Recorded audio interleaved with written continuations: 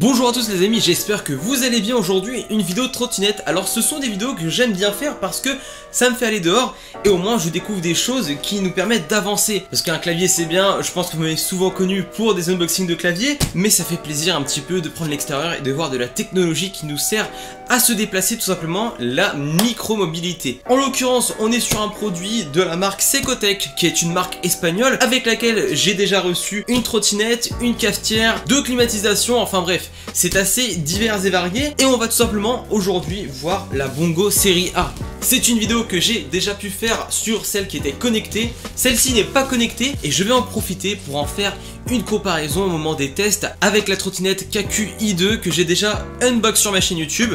J'espère que ça va vous plaire les amis. On va partir à l'unboxing mais n'hésitez pas à vous abonner si c'est pas déjà fait en cliquant sur le bouton s'abonner juste en dessous de la vidéo. Dites-moi si vous aimez ce genre de vidéo. Si vous voulez que je teste des trottinettes, dites-moi les noms en commentaire, je prendrai des notes. En tout cas, c'est parti l'unboxing. Alors les amis, j'ai même pas pris la peine de prendre une chaise parce que je sais qu'à chaque fois que j'ouvre une trottinette, je me bats avec le colis. Par contre, il faut noter que le colis n'est pas très lourd. C'est un des colis de trottinette les moins lourds que j'ai pu recevoir. Donc pour l'instant, c'est un bon point. Je pense que le transport va être assez facile avec cette trottinette.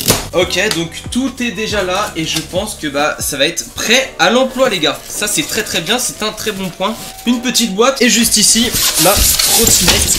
Voilà, la trottinette qui est bien faite et bien pliée pour pouvoir la transporter assez facilement. Ici on a simplement les notices Bon bah finalement je me suis pas si battu que ça avec le, colis parce que honnêtement c'est assez simple alors, j'ai déjà vu des trottinettes beaucoup plus lourdes, donc c'est pour ça que les colis, évidemment, c'est beaucoup plus difficile à ouvrir. Là, ça a été. Par contre, on a beaucoup de protection. Après, on va pas s'en plaindre, hein, honnêtement.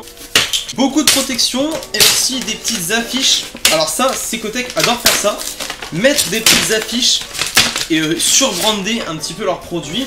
Bon, c'est une stratégie et je pense qu'elle est payante au vu de, bah, de, la complexité de l'offre qu'ils ont. C'est très large et au début on se dit mais est-ce que, est que ça va être bien ou pas pour euh, le, nombre de choix qu'il y a? Mais en fait oui. Dans cette boîte on a le chargeur, alors à savoir qu'il est très compact comparé à d'autres trottinettes que j'ai reçues où est-ce que le chargeur était beaucoup plus gros. Et on a également ça, alors ça servira à serrer euh, la poignée de frein et également ça pour regonfler les pneus parce que ce ne sont pas des pneus pleins, ce sont des pneus gonflables. Bon, euh, le petit désavantage de ça, c'est que on va pouvoir malheureusement les percer, mais après il faut y aller quand même parce que le pneu est quand même assez résistant, je veux dire. Mais l'avantage qu'on a grâce à un pneu qui est gonflable, c'est que bah, on va moins ressentir les petits défauts de la route et ça va faire suspension et ça c'est pas négligeable quand on utilise la trottinette très souvent ça peut même en faire mal au dos. Bon et ben voilà les gars elle est quasiment montée. J'ai juste à resserrer ça. La poignée est en train de se serrer et euh, bah, après le design je le connais, hein. je le connais parce que j'ai déjà eu la version entre guillemets au-dessus. L'avantage de ce modèle c'est quand même que euh, on a un frein à disque à l'arrière et ça c'est pas toutes les trottinettes qui permettent de faire ça. Et je vous garantis qu'en utilisant la trottinette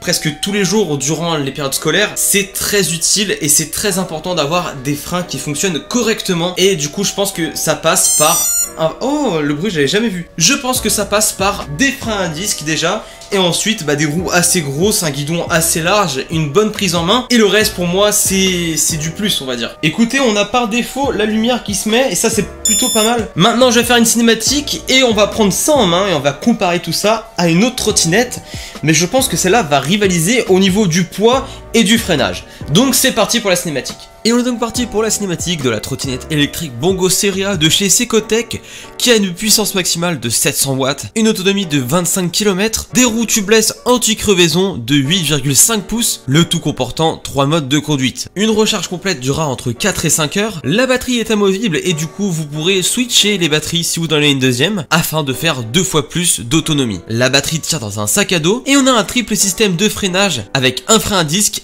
un frein moteur et une possibilité de freiner avec le pied en cas d'urgence. L'écran LED affichera les kilomètres, la vitesse, ainsi que l'autonomie de la batterie et vous indiquera le mode sur lequel vous êtes. Il y a le mode confort, le mode éco et le mode sport. Et bien les amis, on va donc tester la euh, Bongo série A que vous connaissez déjà, mais là on va la mettre en comparaison avec la KQ i2 de chez New. Alors évidemment, est-ce qu'on va comparer l'incomparable? Parce que là, l'entreprise est spécialisée dans la micromobilité et ici, Secotec est spécialisé dans beaucoup d'électroménagers. Donc évidemment, on a ici une marque qui fait des scooters électriques et ici une marque qui fait des trottinettes, mais également euh, par exemple des cafetières ou encore des tapis de course. C'est très varié. on va voir si avec un petit prix, parce qu'on est sur euh, environ 200 euros de différence entre ces deux modèles-là, est-ce qu'on peut avoir quelque chose de façon pas très chère comparé à une trottinette comme celle-ci qui vaut bah, plus cher que celle-ci par exemple. Donc écoutez, déjà, on peut voir qu'elle est un petit peu plus petite. Elle est plus petite, euh, que ce soit euh, pour les pieds ou bien les roues sont plus petites, le guidon est plus petit. Mais l'avantage de ça, c'est qu'on pourra du coup la transporter beaucoup plus facilement. Ici, on est sur quelque chose qui est pas très lourd et ça fait plaisir, alors que tandis qu'ici, on va être sur quelque chose qui est vachement plus lourd. On sent que tout le poids est à l'arrière que c'est un gros bloc. Donc celle-ci sera beaucoup plus transportable, beaucoup plus facilement, alors que celle-ci sera un petit peu plus lourde, voire beaucoup plus lourde. Ok, donc on va tester tout simplement de rouler un petit peu avec.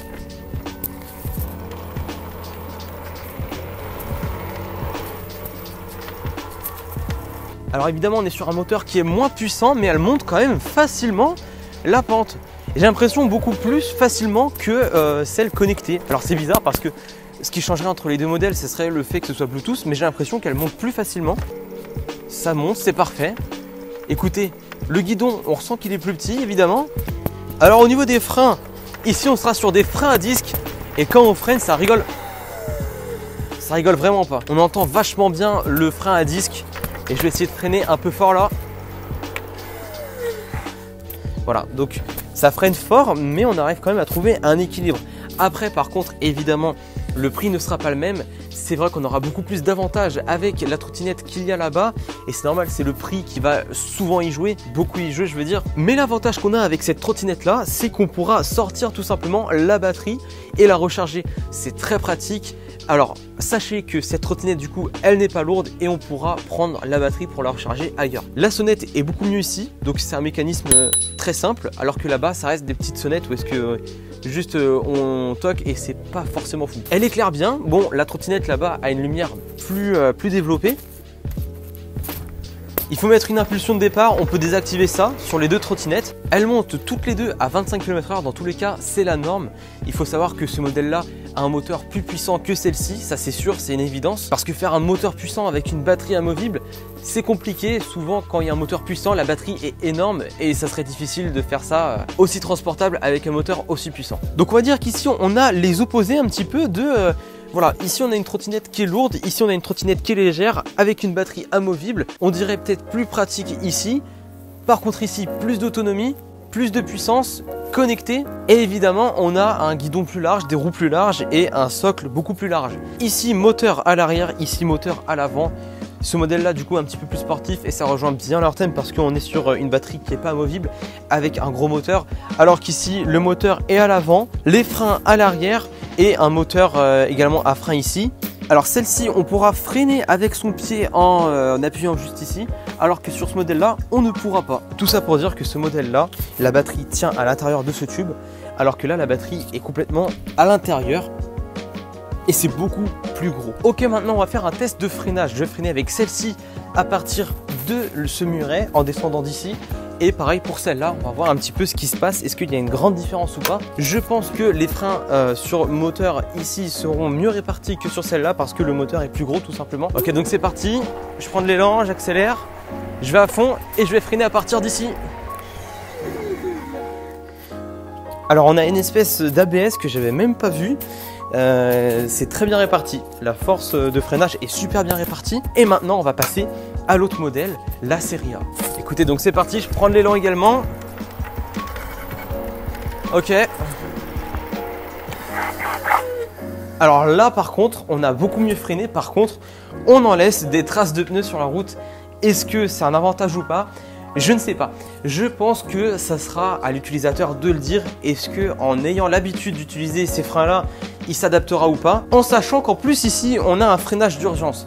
Par contre, vous avez vu que directement avec le frein à disque, on est déjà sur un gros frein parce que évidemment, on a fait gripper un petit peu les pneus. Donc on va dire que euh, le frein, parce que là du coup, il y a aussi un double frein mais je pense pas aussi performant que l'autre trottinette.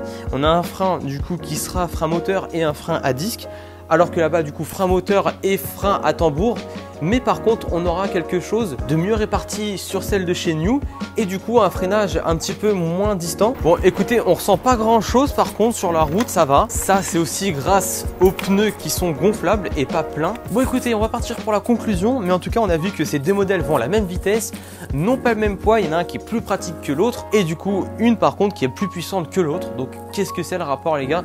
C'est qu'il y en a une qui sera plus chère, moins transportable, faite un petit peu plus pour euh, se déplacer par plaisir on va dire. Et ici, se déplacer par utilité de façon très pratique où est-ce qu'on pourra transporter la batterie. Voici la batterie juste ici. Donc voilà, ça tient dans un sac à dos et euh, c'est plutôt pas mal. Écoutez, on va se retrouver pour la conclusion. Qu'est-ce que j'en ai pensé de tout ça? C'est parti. Et eh bien, alors on va passer à la conclusion de la Bongo série A non connecté de chez Secotech. Je connais bien ce modèle parce que j'ai pu tester le modèle qui pouvait se connecter, donc on va dire la version au-dessus. Je l'ai comparé avec la, la KQI2 de chez New et il faut savoir du coup que pour un prix beaucoup moins cher, on aura des fonctionnalités très intéressantes comme par exemple le fait qu'on peut enlever la batterie ou encore qu'elle soit très légère. Ça, j'apprécie énormément. Maintenant, évidemment, comme une batterie, la batterie tient là-dedans, les gars, c'est-à-dire qu'on pourra se douter que le moteur ne sera pas si puissant que ça. Donc, c'est-à-dire qu'on aura peut-être des petites pertes de puissance comparé au modèle qu'on a comparé aujourd'hui. C'est évident. Par contre, un point que je souligne, les freins à disque sont vraiment géniaux. Et même si comparé à la trottinette juste ici, les freins à disque étaient moins puissants. Ce ne sont pas toutes les trottinettes qui proposent des freins à disque aussi puissants. Enfin, je dirais même un double frein parce qu'il y aura un frein moteur également. Et on aura un freinage d'urgence juste ici avec le pied à gérer avec modération évidemment parce que si vous appuyez trop d'un coup ça va juste glisser et euh, ça va pas freiner. Vous allez faire plus de distance de freinage que prévu. On est donc sur du 25 km h par contre la trottinette de chez New fait beaucoup plus d'autonomie et ça c'est normal parce que la batterie est plus grosse. Par contre ce que j'apprécie du coup comme je vous ai dit énormément c'est qu'on peut enlever la batterie juste comme ça. Si vous êtes intéressé par le produit, n'hésitez pas à aller voir en description. Tous les liens y seront, y compris la boutique de chez Secotech avec laquelle je travaille actuellement. Si c'est pas déjà fait, je vous invite à vous abonner en cliquant sur le bouton s'abonner. Et puis nous, on se retrouve à la prochaine pour une nouvelle vidéo. C'était JX.